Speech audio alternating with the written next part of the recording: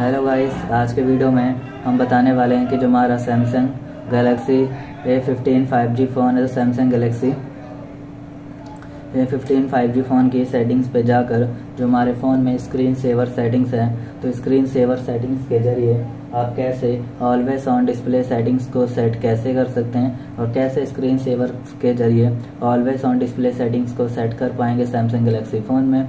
तो आज हम बताने वाले हैं कि ऑलवेज ऑन डिस्प्ले सेटिंग्स को सेट कैसे कर सकते हैं और कैसे स्क्रीन सेवर ऑप्शन के ज़रिए ऑलवेज ऑन डिस्प्ले सेटिंग्स को सेट कर पाएँगे। तो बताने वाले हैं तो वीडियो स्टार्ट करने से पहले हमारे चैनल को लाइक करें, सब्सक्राइब करें और साथ में बेल आइकन दबाना ना भूलें।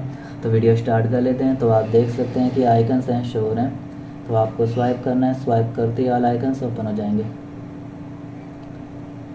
आपको जाना है यहाँ से सेटिंग्स पे। क्लिक करते ही फ़ोन की सेटिंग्स से ओपन हो जाएगी कुछ इस तरीके से।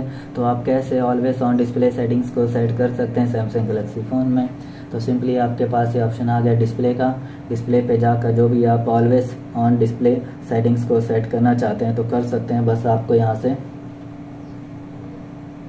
स्क्रीन सेवर सेटिंग्स पे जाना है और स्क्रीन सेवर्स के ज़रिए ऑलवेज ऑन डिस्प्ले सेटिंग्स को सेट कर सकते हैं। नॉन ऑप्शन पे टैप करते हैं तो आप ऑलवेज ऑन डिस्प्ले सेटिंग्स को ऑफ़ कर सकते हैं। कोई भी स्क्रीन सेवर एनिमेशन लॉक पे शो नहीं करेगा। एंड आप यहाँ से कलर एनिमेशन भी शो कर सकते हैं और कुछ इस तरीके से आपका कलर एनिमेशन वगैरह शो करने लगता है। और साथ में ही देख सकते हैं कि आप यहाँ से फ़ोटो फ्रेम एनिमेशन भी लगा सकते हैं। यहाँ से गैलरी पे जाकर इसको अलाउ कर देना है और फिर इसको बैक करना है, जिससे आपकी फ़ोटो वगैरह एनिमेशन में शो करेगी इस तरीके से। तो इस तरीके से फ़ोटो एनिमेशन लगा सकते हैं या फिर फ़ोटो टेबल एनिमेशन भी आप लगा सकते हैं।